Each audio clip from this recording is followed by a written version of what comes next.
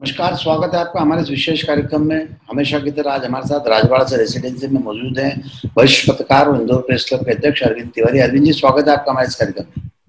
जी नमस्कार सुनील जी। अरविंद जी आपने पहली खबर जो लिखी है उसमें योगी आदित्यनाथ और शिवराज सिंह जी की एक तुलना की है उसको लेकर क्या कहते हैं? देखिए सुनील जी योगी आदित्यनाथ को लेकर पिछले एक डेढ़ महीने से उत्तर प्रदेश में जो सरगर्मियाँ थी और जिस तरीके से कहा जा रहा था कि उत्तर प्रदेश में केंद्रीय नेतृत्व को भी अनसुना किया जा रहा है। और जैसा हमने सुना था कि अपने विश्वस्त अरविंद शर्मा को प्रधानमंत्री उप मुख्यमंत्री बनवाना चाहते हैं। योगी आदित्यनाथ ने उस आउटलेट खारिज कर दिया। पार्टी के वरिष्ठ नेताओं के फ़ोन तक के बारे में हमें ये जानकारी मिली कि उन्होंने उन्हें कई मौकों पर रिसीव नहीं किया। पार्टी के राष्ट्रीय नेता जब वहाँ चर्चा के लिए गए, मेल मुलाकात के लिए गए तो उन्होंने कोई तवज्जो नहीं दी और अंततः दिल्ली आने के बाद उन्होंने दमदारी से अपना पक्ष रखा और, एक तरीके से माना गया कि केंद्र को की खाना पड़ी योगी आदित्यनाथ के मामले में, क्योंकि उनका जो जनाधार है, उन्होंने वहाँ जो काम किया है और आने वाले यूपी के जो चुनाव। मध्य प्रदेश का मुद्दा है कि मध्य प्रदेश में भी शिवराज सिंह चौहान को लेकर सुखुकाट शुरू हुई थी। लेकिन मेरा ऐसा मानना है कि शिवराज सिंह चौहान को जो लोग कमज़ोर आंक रहे हैं, वो बड़ी भूल कर रहे हैं। वो भारतीय जनता पार्टी के बहुत स्थापित नेता हो गए हैं। पंद्रह साल, सोलह साल के करीब उनको मुख्यमंत्री रहते हो गया है और अपनी सज्जनता, सादगी, संवाद और जो उनकी सहनशीलता है, उसके चलते मध्य प्रदेश की राजनीति में वो अपना एक अलग स्थान बना चुके हैं। तो उनको मतलब मूल मिला के मेरा ये कहना है कि कुल मिलाकर पार्टी नेतृत्व के लिए भी अब शिवराज सिंह चौहान से पंगा लेना कोई आसान बात नहीं रह गया है। बहुत शिवराज सिंह चौहान के मामले में जो भी निर्णय करना होगा, बहुत सोच समझ के करना होगा, वो लो प्रोफ़ाइल के व्यक्ति हैं, वो दिखाते नहीं है, लेकिन मौका आने पर अपने विरोधियों को या जो लोग मुख्यमंत्री पद की कुर्सी पर नज़र लगा के बैठे हैं, उन्हें अपनी हैसियत का एहसास भी करा देते हैं। इसलिए मैंने कहा कि अगर हम इस दौर में, यूपी में जो उठापटक शुरू हुई थी, मध्य प्रदेश में उठापटक शुरू हुई थी, उसके बाद यदि हम शिवराज सिंह चौहान को कमज़ोर आकेंगे तो ये एक बड़ी भूल होगी। अभी जी क्या माने मध्य प्रदेश में नेतृत्व तो परिवर्तन वाली जो बात है, वो इस समय उस पर विराम लग चुका है? एक फ़ोटो को लेकर भी आपने लिखा है। देखिए, हालात जो भी मध्य प्रदेश के हैं, उसको देखकर तो स्पष्ट लग रहा है कि मध्य प्रदेश में हाल फ़िलहाल नेतृत्व परिवर्तन की कोई संभावना नहीं पंद्रह दिन पहले बहुत तेज़ी से जिस तरह से नेताओं के बीच मेल मिलाप शुरू हुआ था, एक दूसरे से मिल रहे थे। प्रदेश के पदाधिकारी दिल्ली जा रहे थे, दिल्ली में नेताओं से मिल रहे थे। दिल्ली के नेता भोपाल आए थे, दिल्ली के नेता आपस में दिल्ली में मिल रहे थे। कुल मिला के माना जा रहा था कि ये सारा, सारी जो एक्सरसाइज है इसका एकमात्र लक्ष्य कि शिवराज सिंह चौहान मध्य प्रदेश की कुर्सी से मध्य प्रदेश के मुख्यमंत्री की कुर्सी से अपदस्थ हो जाए। लेकिन ऐसा संभव नहीं दिखता। दरअसल, मध्य प्रदेश भाजपा के अध्यक्ष बी शर्मा, संगठन महामंत्री सुहास भगत और सह संगठन महामंत्री हितानंद शर्मा दिल्ली यात्रा के दौरान कई लोगों से मिले। संघ में संघ भारतीय जनता पार्टी के नेताओं को भेजता है और जो संगठन महामंत्री या सह संगठन मंत्री जैसी भूमिका निभाते उनका एक बड़ा अलग दर्जा होता है। इस मेल मुलाकात के दौरान ये तीनों केंद्रीय मंत्री प्रहलाद पटेल से भी मिले थे और जो प्रहलाद पटेल से मुलाकात का जो फ़ोटो वायरल हुआ, उसको मतलब प्रहलाद पटेल बहुत ही लाइट मोड में थे टी शर्ट डेकर में शॉर्ट्स में, वो अपने बंगले के परिसर में इन तीनों नेताओं के साथ बैठे हुए थे तो आखिर संगठन महामंत्री की भी अपनी एक मर्यादा होती है।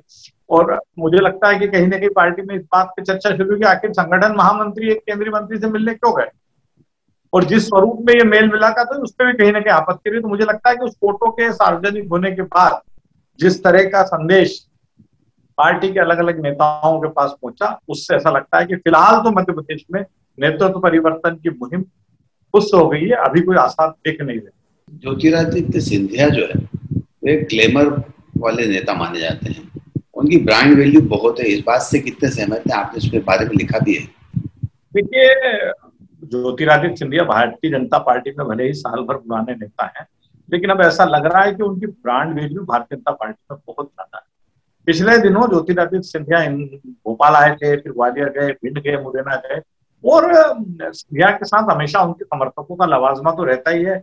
सारे मंत्री उनके साथ थे, भोपाल में विधायक पार्टी के बहुत सारे जो साथ थे, उनके समर्थक लेकिन जिस तरीके से भारतीय जनता पार्टी के नेताओं ने ज्योतिरादित्य सिंधिया से मिलने में रुचि दिखाई, उन्हें अपने घर निमंत्रित करने में रुचि दिखाई, उनके साथ नाश्ता लंच या डिनर में रुचि दिखाई, उससे ऐसा लगता है कि पार्टी के नेताओं को भी ज्योतिरादित्य सिंधिया की ब्रांड वैल्यू का एहसास है। और उन्हें लगता है कि भारतीय जनता पार्टी में वे लंबी रेस का घोड़ा होने वाले हैं, इसीलिए चाहे बुज़ुर्ग नेता हो, चाहे युवा नेता हो, सब में वो जो है आकर्षण का केंद्र बने रहे। और मतलब आश्चर्य की बात तो ये है कि सिंधिया अगली बार कब आएँगे? भोपाल ये कोई कह नहीं सकता।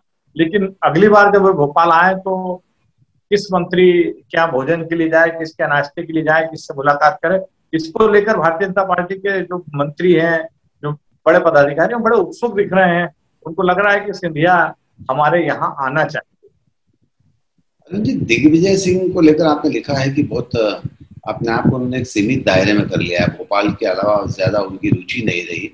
और वहीं कमलनाथ ने अपना, अपने आप को थोड़ा सा एक्सपांड करने की कोशिश की।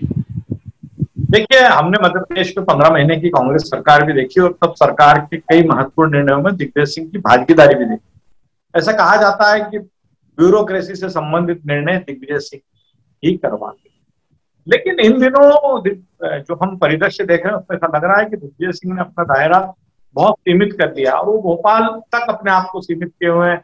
जहाँ से वे लोकसभा चुनाव लड़के आ रहे हैं, साध्वी प्रज्ञा के खिलाफ।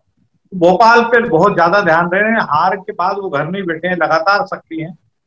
लेकिन आश्चर्य इस बात का है कि संगठन से जुड़े अहम निर्णयों में कहीं दिग्विजय सिंह की भागीदारी इन दिनों नहीं दिख रही है। कमलनाथ अपने कोर ग्रुप के साथ बैठ रहे हैं, निर्णय ले रहे हैं, उन्हें एग्जीक्यूट कर रहे हैं। अभी हाल ही में उन्होंने जो प्रदेश पदाधिकारी प्रदेश प्रभारी बनाए हैं, जो अलग अलग जिलों में पार्टी का काम काज देखेंगे, वो निर्णय भी कमलनाथ का अपना निर्णय बताया जा रहा है। कमलनाथ अभी अस्वस्थ थे, इस दौर में भी कहीं दिग्विजय सिंह और उनकी मेल मुलाकात जानकारी सामने नहीं। उमंग सिंगार पे इतना बड़ा वार हुआ, उस दौर में दिग्विजय सिंह खामोश थे तो दिग्विजय सिंह ने जो सारा परिदृश्य, उसको दिग्विजय सिंह ने अपना दायरा बहुत सीमित कर लिया।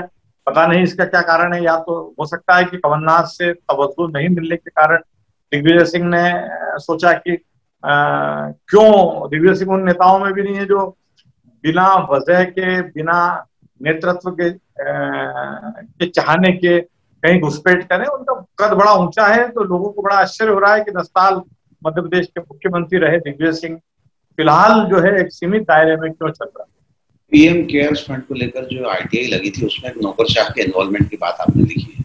देखिए, प्रधानमंत्री केयर्स फंड को लेकर जो आरटीआई लगी है, वो देश भर में चर्चा का विषय बनी हुई और इस मामले में निगाहें मध्य प्रदेश की ओर भी है, क्योंकि ऐसा कहा जा रहा है कि 20 से 25 परसेंट जो आरटीआई है, वो मध्य प्रदेश से लगी और कुछ सेंट्रल एजेंसीज के माध्यम से जब इसकी तहकीकात हुई तो पता चला कि ये आरटीआई जो है, वो मध्य प्रदेश के एक बहुत बड़े नौकरशाह जो पिछले पंद्रह बीस साल में हमेशा मुख्य धारा की पोस्टिंग रहे हैं, और निकट भविष्य में चीफ सेक्रेटरी पद के दावेदार हैं, उनकी उनसे जुड़े लोगों के नजदीकियों द्वारा जो है ये आरटीआई लगाई गई। तो बड़ी चौंकाने वाली बात है, मध्य प्रदेश सरकार भी अपने स्तर पर इसका परीक्षण करवा रही है।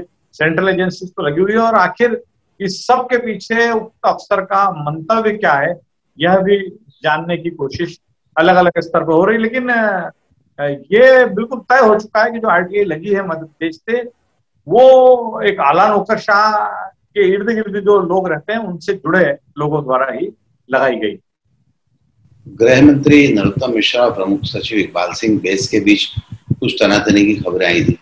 देखिए, पिछले दिनों कैबिनेट की बैठक में जिस तरीके से नरोत्तम मिश्रा ने तीखे तेवर अख्तियार किए और मुख्य सचिव और नर्मदा घाटी विभाग के अपर मुख्य सचिव से जिस तरह की उनका संवाद हुआ, वो, ये तो बता रहा है ये तो कह रहा है कि कुछ ठीक नहीं है। लेकिन सब लोग इसलिए आश्चर्यचकित है कि नरोत्तम मिश्रा और इकबाल सिंह बैस के संबंध बड़े मधुर रहे इकबाल सिंह बैस मंत्रालय में पावरफुल रहे हों या पावरलेस रहे हों, नरोत्तम ने हमेशा उनके साथ गर्मजोशी का ही रिश्ता रखा है। अक्सर वल्लभ भवन के जानकार कहते हैं कि वो इकबाल सिंह बैस के कमरे में जाकर बैठ जाते थे, चाहे वो पांचवी मंजिल पे रहे हो, इकबाल सिंह बैस या पहली मंजिल पे रहे हो। हमेशा नरोत्तम मिश्रा उनके संबंध बड़े गर्मजोशी वाले रहे। लेकिन इस बार पंडित जी क्यों इतने तीखे तेवर अख्तियार किए हुए हैं, इस पर सबका चौंकना स्वाभाविक है। हालाँकि लोग कहते हैं कि निगाहें भले ही उनकी सिंह बेस पे हो लेकिन निशाना कोई और तो कहीं पे निगाहें कहीं पर निशाना जैसी बात है। देखते हैं ये किस अंजाम तक पहुँचता है मामला। लेकिन कैबिनेट की बैठक में तो दोनों आमने सामने हो चुके हैं। डीजीपी रहे विवेक जौहरी को लेकर भी कुछ बातें निकल कर आई है कि कमलनाथ का कमिटमेंट था। और कुछ लोग ये मानते हैं कि जब कमलनाथ जी ने कमिटमेंट किया तो उसको पूरा क्यों किया जाए? इसको लेकर भी देखिए वीके जोहरी को जब केंद्र में जहाँ बीएसएफ के डीजी से थे, वहाँ से जब मध्यप्रदेश लाया गया था तो कमलनाथ मुख्यमंत्री थे और कमलनाथ ने उनसे कहा था कि मैं आपको दो साल डीजी पद पर रखूँगा। स्वाभाविक है कि सेंट्रल के किसी पैरामिलिट्री फोर्स के डीजी का पद छोड़कर आदमी गृह राज्य में आ रहा है तो कोई दो चार महीने, पाँच महीने के लिए नहीं आ रहा है। कमिटमेंट वो भी आदमी चाहता है, क्योंकि जिस पद पे वे थे, वहाँ उन्हें दो साल हर हालत पे रहना था। तो कमलनाथ का कमिटमेंट था, सितंबर, अक्टूबर में शायद वो उनकी सेवानिवृत्ति का आयु पूर्ण हो चुकी लेकिन चूँकि दो साल उन्हें पद पर रखने का कमिटमेंट था, बकायदा आदेश जारी हुआ था तो अभी उनकी सेवाएँ निरंतर जारी, लेकिन इसी बीच भारतीय जनता पार्टी और संघ के एक बड़े धड़े ने बड़ी आपत्ति ली है कि आखिर कमलनाथ के कमिटमेंट को भारतीय जनता पार्टी की सरकार क्यों तो पूरा करे? और इन लोगों ने तय किया है कि हम अपनी बात को मुख्यमंत्री के सामने रखेंगे, अगर हमारी बात नहीं सुनी तो हम दिल्ली दरबार में भी दस्तक देंगे। तो ये मतलब कुल मिला के पूरा एपिसोड जो है एक तो इससे ये स्पष्ट हो रहा है कि भारतीय जनता पार्टी और संघ के कुछ लोग विवेक जौहरी से खुश नहीं है और दूसरा ये कि उनकी कोशिश इस बात की उनके प्रयास इस बात के हैं कि उन्हें मध्य प्रदेश के डीजी पद से निवृत्त कर दिया जाए। मध्य प्रदेश हाईकोर्ट में जजेस की नियुक्ति को लेकर भी आपने लिखा है कि उसके कुछ कारण गिनाए जिसकी वजह से सब नहीं हो पाया। देखिए चीफ जस्टिस पिछले दिनों इंदौर में थे और वो जबलपुर में बार और बेंच से चर्चा कर चुके हैं नए हाईकोर्ट जजेस के मामले में। ग्वालियर में कर चुके हैं इंदौर भी इसी सिलसिले में आए थे, लेकिन उनके आने के पहले जिस तरह का प्रचार प्रसार उनकी यात्रा को लेकर हो गया और कुछ संभावित नाम हाईकोर्ट जजेस के सामने लाए गए कि वो इनसे भी चर्चा करेंगे तो उसको लेकर मुझे लगता है कि वो खुश नहीं थे मोहम्मद रफी। तो वो यहाँ रहे, तीन चार दिन रुके, कई लोगों से मेल मुलाकात की, लेकिन नए जजेस की नियुक्ति के मामले में वो छुट्टी साधे रहे। उन्होंने संकेत दिया कि जिस तरह से जो कुछ दिख रहा है, जो कुछ चल रहा है, उससे वो खुश नहीं है। मैं तो चाहता था कि एक बहुत हेल्दी एटमॉस्फेयर में बाहर से बेंच से और जो दावेदार हैं उनसे मिलूं चर्चा करूँ संभावित नामों से चर्चा करूँ लेकिन जो स्थितियाँ उन्होंने उन्हें दिखी उसके बाद उन्होंने इस विषय पर यहाँ किसी तरह का कोई संवाद नहीं किया। चलते चलते में आपने लिखा है कि मुख्यमंत्री अपना कुछ विश्वस्त विधायकों को मंत्रिमंडल में शामिल नहीं कर पा पाए नहीं देखिए अभी हाल ही में भारतीय जनता पार्टी की प्रदेश कार्य समिति बनी। जिस तरह से मंत्रिमंडल में शिवराज सिंह चौहान अपने कुछ चहेते लोगों को, रामपाल सिंह है, राजेंद्र शुक्ला है, इनको चाहने के बाद भी मंत्री नहीं बनवा पाए इसलिए वो ऐसा लग रहा है कि प्रदेश कार्य समिति में भी मुख्यमंत्री जी की पसंद के कुछ नामों को तवज्जो नहीं मिली। जैसे हम बात करते हैं सुरेंद्र नाथ सिंह की, भोपाल से विधायक रहे, भोपाल विकास प्राधिकरण के अध्यक्ष रहे युवा मोर्चे की राजनीति के जमाने से मुख्यमंत्री शिवराज सिंह चौहान के बड़े विश्वस्त माने जाते हैं। तो सुरेंद्र नाथ सिंह का नाम कार्य समिति में नहीं होना बड़ा चौंकाने वाला है। इंदौर के विधायक महेंद्र हार्डिया जो चौथी बार के विधायक हैं मुख्यमंत्री के बड़े विश्वस्त हैं और एक ऐसे नेता हैं जिनका जो जो सबको के साथ संतुलन स्थापित करने में विश्वास रखते हैं उनका भी नाम इस उसमें नहीं है। दीपक जोशी कैलाश जोशी का तो बड़ा जन, जनता पार्टी हो जनसंघ हो भाजपा हो कैलाश जोशी का तो बड़ा डिवोशन रहा है। खुद दीपक जोशी तीन बार विधायक रहे हैं। पिछला चुनाव वो हार के थे दो हज़ार अठारह का उसके बाद जो उपचुनाव हुआ पार्टी ने वहाँ से जो है दूसरे व्यक्ति को चुनाव मनोज चौधरी को टिकट दिया मनोज जीत गए लेकिन ये माना जा रहा था कि कहीं ना कहीं दीपक जोशी का सम्मान बरकरार रखा जाएगा उन्हें निगम मंडल का अध्यक्ष बनाया जाएगा या उन्हें कहीं और मौका मिलेगा। तो अभी तो हालात ये है कि उन्हें प्रदेश कार्य समिति में लेना तक मुनासिब नहीं समझा गया। अरविंद जी बात मीडिया की किए बिना एक कॉलम अधूरा रहता है उस पर भी हम बात करें। बात मीडिया की शुरू करें उसके पहले एक महत्वपूर्ण विषय जो है वो आपसे है, इस कॉलम का उस पर भी हम चर्चा कर लेते हैं। भोपाल के कमिश्नर कविंद्र कियावत निकट भविष्य में सेवानिवृत्त हो रहे हैं और उनके स्थान पर नया कमिश्नर कौन बनेगा, इसको लेकर चर्चाओं का दौर प्रशासनिक क्षेत्र में शुरू हो गया है। ऐसा माना जा रहा है कि भोपाल में कलेक्टर रहे भोपाल और इंदौर में कलेक्टर रह चुके निशांत बरवड़े इस दौर में, इस दौर में सबसे आगे हैं, क्योंकि उन्हें होशंगाबाद के कलेक्टर रह चुके हैं, भोपाल के रह चुके हैं, इंदौर के रह चुके हैं। मुख्यमंत्री के बड़े खासम खास अधिकारियों में वो है। इसलिए उनका नाम दौड़ में सबसे आगे, लेकिन देखना है कि इस नाम पर इकबाल सिंह बैस जो मध्य प्रदेश के मुख्य सचिव हैं, और हर प्रशासनिक निर्णय में जिनकी बड़ी सहभागिता रहती है, महत्वपूर्ण सहभागिता रहती है हर महत्वपूर्ण निर्णय में, वो निशान बरवड़े के नाम पर स्वीकृति की मोहर लगाते हैं, नहीं, ये अभी देखना बाकी मीडिया की बात तो मीडिया में सबसे बड़ा बदलाव तो दैनिक भास्कर के दिल्ली ब्यूरो में है धर्मेंद्र चौहान जो करीब सात आठ महीने धर्मेंद्र भदौरिया जो सात आठ महीने पहले ब्यूरो चीफ बनाए गए थे वहाँ पे और जिन्हें भाजपा सहित अन्य महत्वपूर्ण पीठ जिनकी जुम्मे थी आ, मुझे लगता है कि उन्हें दिल्ली रास नहीं आई है और वह ग्वालियर के रेजिडेंट एडिटर बना दिए गए हैं। अब दिल्ली ब्यूरो को भोपाल से अरुण चौहान हैंडल कर रहे हैं तीन चार साथी वहाँ बचे हैं तो रूटीन का कामकाज वहाँ का जो है उसको भोपाल से वरिष्ठ साथी अरुण चौहान हैंडल कर रहे हैं। दूसरा महत्वपूर्ण विषय बड़ा रोचक है कुट्टी मेनन साहब के निधन की, उनके निधन से एक दिन पहले ही अफवाह उड़ना शुरू हो गई थी। वरिष्ठ पत्रकार कीर्ति राणा ने भी एक सूचना इस तरह की प्रकाशित कर दी थी, जो वो डेली शाम को बुलेटिन जारी करते जिसको उन्होंने कर दिया कि कुट्टी मेनन नहीं रहे। इसी बीच सोशल मीडिया पर दैनिक भास्कर के स्टेट एडिटर अवनीश जैन के नाम से एक स्मृति शेष प्रसारित हो गया। उसे इंदौर वाले ग्रुप ने आगे भी बढ़ा दिया। बड़ी हलचल हुई। बाद में जब मालूम पड़ा, तहकीकात हुई और ये पता पड़ा कि कुट्टी मेनन ज़िंदा है तो कीर्ति राणा ने अपनी जानकारी जो थी सुधारा। अवनीश जैन जो है उन्होंने अलग अलग सोशल मीडिया माध्यमों पे उनकी ये बात सामने आई कि भाई, मैंने तो इस तरह का कोई स्मृति शेष लिखा नहीं है। फिर बाद में खुलासा हुआ कि इंदौर के एक और कोई सज्जन अवनीश जैन है, जो बड़े निकटस्थ हैं रहे हैं कुट्टी मेनन के उन्होंने वो स्मृतिशेष लिखा था।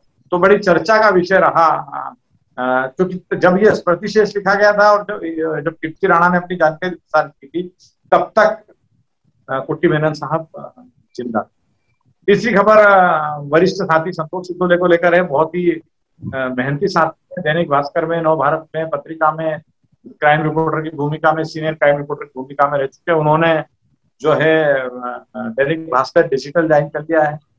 बहुत ही मेहनती रिपोर्टर हैं, बहुत पकड़ वाले रिपोर्टर हैं संतोष टोले हम उनके उज्जवल भविष्य की कामना करते हैं।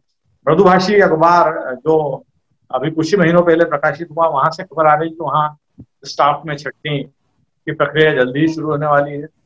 एक खबर वरिष्ठ पत्रकार आनंद पांडे के प्रोजेक्ट को लेकर है जिससे जिसका हम सबको काफ़ी समय से इंतज़ार है। ऐसी खबर है कि जुलाई के पहले सप्ताह में आनंद भाई का प्रोजेक्ट अस्तित्व में आ जाएगा।